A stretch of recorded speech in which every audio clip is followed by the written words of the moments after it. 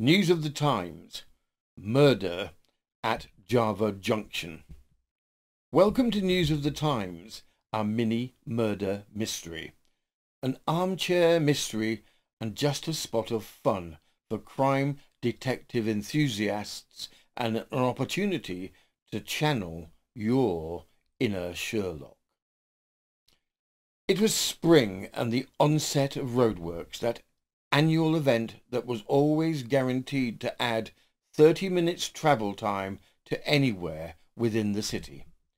Chief Inspector Wayne never did quite understand how a road could be dug up, important looking machinery would be at play for a week or so, then the road would then be tarmacked over, only to be dug up again a week or so later by a different set of workmen. He sighed. On a positive, this encouraged him to walk as attempting to drive the car through the city with the various closed roads and diversions was a near impossibility. A call came in of a body found on the pavement outside of the Java Junction coffee shop. It had only just turned nine o'clock, and he had not yet had his second cup of morning coffee. Upon walking into town to avoid the traffic chaos, he could see where the area had been blocked off by the policeman already there. On the pavement lay a Robert Brown, an investment banker, with a paper in one hand and a cup of now spilled coffee in another. Oddly, beside the dead body lying on the pavement, he could see what looked like little bits of green flakes glinting in the morning sun from the spilled coffee. The case, it would seem, would take on further importance as Mr. Brown was also a city council member. The coroner, assessing the body, the dilated pupils and foam at the mouth, surmised that Mr. Brown had died by some kind of drug or poisonous substance. He would not know more until a post-mortem took place. Around Mr. Brown's mouth, Chief Inspector Wayne could see residue that looked similar to the crushed green flakes of the spilled coffee. What was that? Don't know, was the gruff reply from the coroner, and I won't know until we analyse it. Some of the green flakes on the pavement were also scooped up into little bags for later analysis. Chief Inspector Wayne sighed again. He did not seem that he would have any answers any time soon. And with Mr. Brown being a councilman, pressure was on to solve the case quickly. The police had gathered the witnesses, and Chief Inspector Wayne started the process of taking statements. Suspect 1. The barrister. Jake Gordon. Jake Gordon, who according to his T-shirt was a fully fledged barista, was first to be interviewed. With the coffee shop itself now locked down as police scoured through it, the interviews had to be held outside, inconveniently. Jake explained how Mr. Brown was a regular, always with the same order of a ristretto with almond milk and a splash of vanilla syrup. He informed Chief Inspector Wayne that today's coffees were all special, as it was St. Patrick's Day.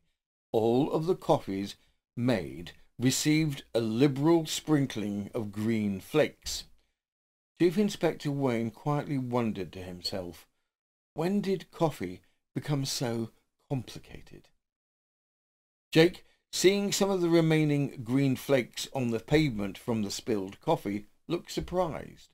The green flakes he put into the coffees did not look like the green flakes he could see. His green flakes were powdery. The green flakes from the spilled coffee were larger and a brighter green. Mr. Brown, he said, tended to be an abrupt and an exacting man. He was particular that this coffee was made a certain way. Jake though Mr. Brown had seemed a bit anxious this morning. Jake had made the coffee, but as people had entered the shop, he had seemed startled and had gone to the bathroom. Jake had left his coffee to the side with his name on it for him to collect when he came back. He had been busy with orders and stocking the shelves with an array of green iced treats and had not noticed anything until he had seen Mr. Brown collapse outside. Jotting everything down, Chief Inspector Wayne thanked him and asked him to step aside. The shop was still locked as police swept through it, looking for anything suspicious and now taking samples from within the shop of the mysterious green powder that had been put into coffee cups. Sporadic bursts of drilling in the road were now taking place. What seemed like waves of pedestrians came streaming across the road regularly, with the very loud beeping noise telling pedestrians to cross the road happening almost every five minutes.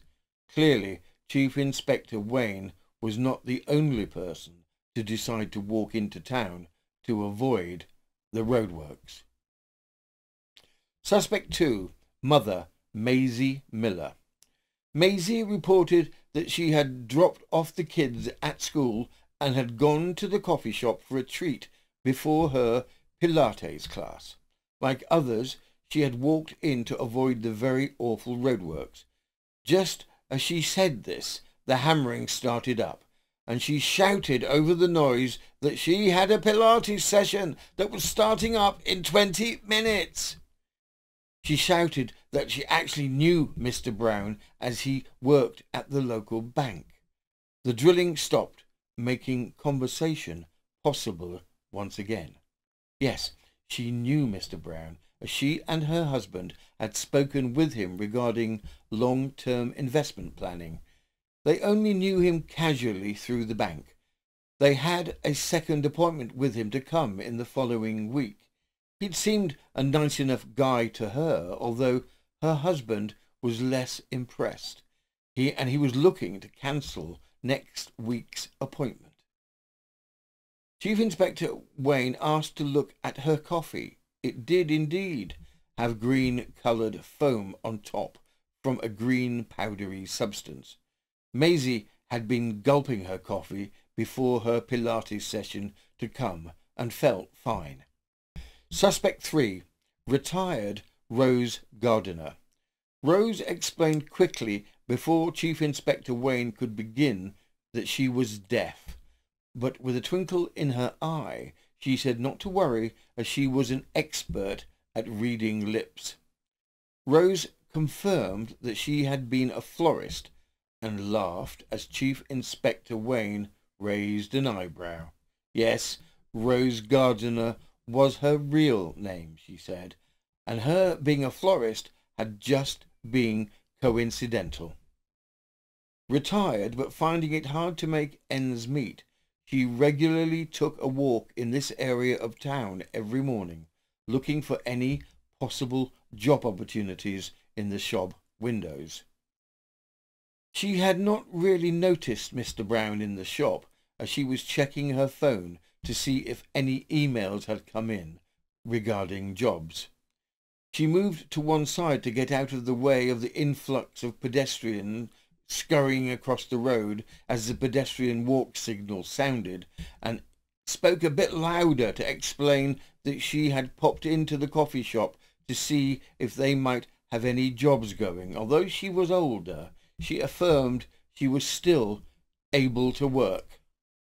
Going back to the topic of Mr. Brown, she confirmed she did not know him, poor man, but like the others, she had seen him drop to the ground outside whilst having a drink of coffee. Chief Inspector Wayne noted that she did not have a coffee. No, she replied, expensive coffees were now not an option. She had only come in looking for work. Suspect 4. IT shop owner Barry James. Barry had come in as he always did to get a double shot coffee to go for his first round of morning caffeine. Once again, the interview was temporarily stopped as another wave of pedestrians came flooding in with the warning beep beep of the pedestrian lights reverberating. Yes, he knew Mr. Brown as Mr. Brown had approved his loan for his small IT shop that he had opened a few weeks ago just down the street. He did not know Mr. Brown socially, but he had voted for him as a councilman. As the drilling of the road started up again, Barry expressed his upset and disgust. With the road closure, his small IT business was currently not getting any customer footfall and he was having difficulty making the payments. He went on to say that if he had known about the impending roadworks, he would not have voted for Mr. Brown. Chief Inspector Wayne did not think Jake needed any more coffee. He seemed wired and angry the moment he started talking about the roadworks. He asked to look at what remained of Barry's coffee, but Barry had already thrown away his cup as he had finished his coffee as he waited to be interviewed. The coffee cup was fished out of the bin and Chief Inspector Wayne possibly could see some light green leftover residue in the remaining foam of the discarded cup but there was very little left in the cup. With the conclusion of the interviews, Chief Inspector Wayne had a suspect in mind if it turned out, as he suspected, that Mr. Brown had ingested poison. Can you figure out the suspect from the clues?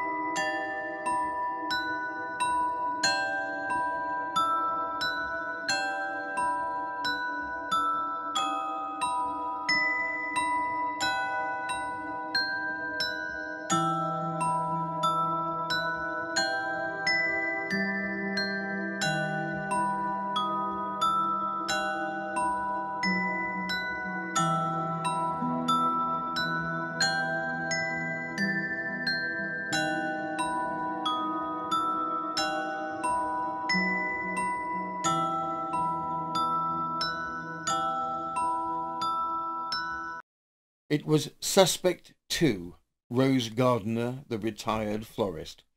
Chief Inspector Wayne noticed that although she claimed to be deaf, he suspected as a ploy for sympathy and to help remove suspicion from her, she had raised her voice to speak over the loud pedestrian crossing warnings. If she had indeed been deaf, she would not have noticed the noise.